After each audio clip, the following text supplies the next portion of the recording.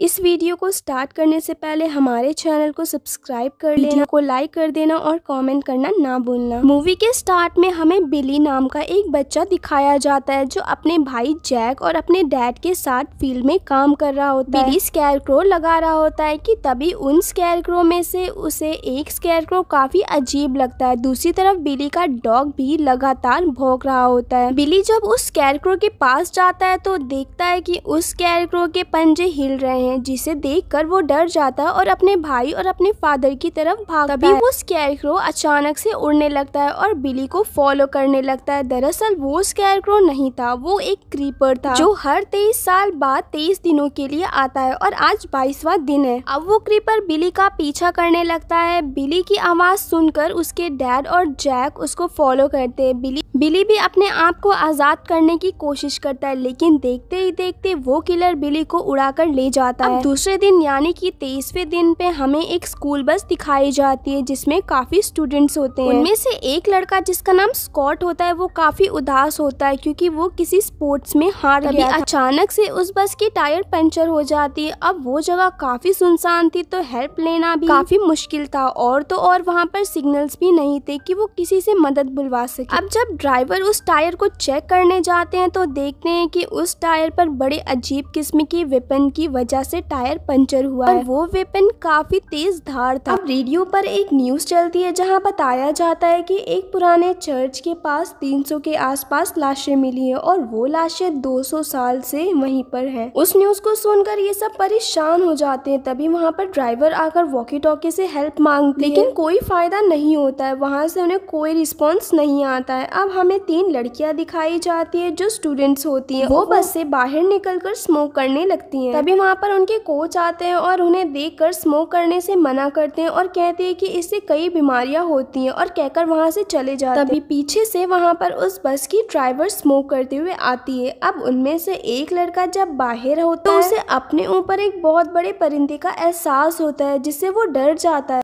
तभी बस के लोग डिसाइड करते हैं कि वो लोग अपने बचे हुए टायर्स को यूज़ करके आगे बढ़ेंगे और सब लोग बस के अंदर जाते हैं और आगे का सफ़र तय करते हैं। अब दूसरी तरफ़ हम बिली के फादर को देखते हैं जो उस क्रीपर को मारने के लिए हथियार तैयार कर रहे होते हैं क्योंकि वो उससे बिली का बदला लेना चाहते हैं अब जब रात होती है तो उनमें से मिंसी नाम की लड़की को ख्वाब आता है जिनमें उससे बिली दिखाई देता है और वही लड़का दिखाई देता है जिसे हमने पार्ट वो चिल्ला चिल्ला कर उसे आगाह कर रहे होते हैं और किसी तरफ़ इशारा कर रहे होते हैं तभी वो क्रीपर भागते हुए आता है और उनके वही तेज धार वाली चीज़ से हमला करता है और असलियत में भी यही होता है और उनकी टायर दोबारा पंचर हो जाती है। अब उनके पास कोई ऑप्शन नहीं होता है तो उनकी ड्राइवर सारे लोगों को बस से बाहर निकालती है और कोच रोड पर रेड लाइट्स रखता ताकि जो भी आते जाते हुए लोग उसे देख कर उनकी मदद कर सके। अब जब वो ड्राइवर टायर को चेक कर रही होती है तो देखती है की इस बार भी उनका टायर उसी हथियार से पंचर हुआ है जैसे कि पहले वाले टायर के साथ हुआ ये देखकर वो काफ़ी परेशान हो जाती है कि ज़रूर यहाँ पर कुछ ना कुछ गड़बड़ है और ये बात वो कोच को बताती है। अब उसी वक्त वहाँ पर क्रीपर आ जाता जो उनमें से एक कोच को वहाँ से उड़ाकर ले जाता यहाँ पर किसी को कुछ समझ नहीं आ रहा होता है कि आखिर यहाँ पर हुआ क्या था। ड्राइवर और कोच सारे लोगों को जल्दी से बस के अंदर जाने को कहते हैं क्योंकि उन्हें अंदाज़ा हो गया था कि ये जगह सेफ़ नहीं है। और सब लोग अंदर चले जाते हैं तभी वो क्रीपर फिर से आता है और उस ड्राइवर को ले जाता अब है। उस क्रीपर को ले जाते हुए उनमें से एक स्टूडेंट देख लेता है और वो इतना भयानक होता है कि वो लड़का काफ़ी डर जाता है। जब कोच उससे पूछता है कि बताओ तुमने क्या देखा? तो वो कहता है कि मैंने एक अजीब सा देखा। जो ड्राइवर को उड़ाकर ले गया। लेकिन कोई भी इस बात को मानने को तैयार ही नहीं था कि कोई कैसे किसी को उड़ाकर ले जा सकता है। अब उन लोगों को अपने बस पर कुछ आहट सुनाई देती है। अब वो कोच सबको शांत करने की कोशिश करता है लेकिन तभी वो क्रीपर आता है और उस कोच को पकड़ लेता है। अब स्टूडेंट्स काफ़ी कोशिश करते हैं कि वो अपने कोच को रोक सके लेकिन वो क्रीपर की ताकत के आगे वो लोग कुछ नहीं थे। वो उस कोच को उड़ाकर ले जाता है। क्योंकि ये लोग अपने आँखों से ये वाक्य देख चुके होते हैं तो ये लोग काफ़ी डरे और घबराए हुए होते वो लोग जल्द से जल्द अपने बस को लॉक करते हैं कि तभी वो क्रीपर दोबारा आ जाता है और वो सबको घूरने लगता है और वो वहाँ से चला भी जाता है। तभी मिन्सी फिर से बेहोश हो जाती है और उसे फिर से एक ख्वाब आता है जहाँ पर वो उसी फ़ील्ड में हो होती है और उस खेत वो एक स्केयर क्रो देखती है। तभी वो वहाँ पर एक लड़के को देखती है जिसे हमने पार्ट वन में देखा था। वो उसे कुछ बताना चाहता था। फिर मिनसी उससे पूछती है कि तुम यहाँ क्या कर वो लड़का उसे बताता है कि वो हर तेईस साल बाद जागता है और अगले तेईस दिन तक वो अपनी भूख मिटाता है। मिनसी उससे पूछती है कि आखिर ये क्या खाता है? तो वो लड़का उसे बताता है कि वो हम इंसानों को खाने के लिए जागता है और तभी मिनसी की आँख खुल जाती तो है। सबसे इस बात के बारे में बताती है कि उसने क्या देखा और उसने एक लड़के को देखा जो उसे बता रहा होता है कि वो क्रीपर उन्हें भी मार कर खा जाए लेकिन कोई भी इस बात पर बिलीव करने को राज़ी नहीं थे। दूसरी तरफ़ बिली के फादर और उसका भाई एक कार के पास पहुँचते। वो देखते कि उस कार की कंडीशन काफ़ी ज़्यादा खराब उसे देखकर ये लोग समझ जाते कि ये ज़रूर क्रीपर ने किया होगा। अब उनकी कार के वॉकी टॉकी से किसी की हेल्प की आवाज़ें आती और वो उन्हीं स्टूडेंट में से एक स्टूडेंट होता है। वो कहता है कि हमें बचा लो वरना वो क्रिएचर हमें जान से मार और हमें खा जाएगा।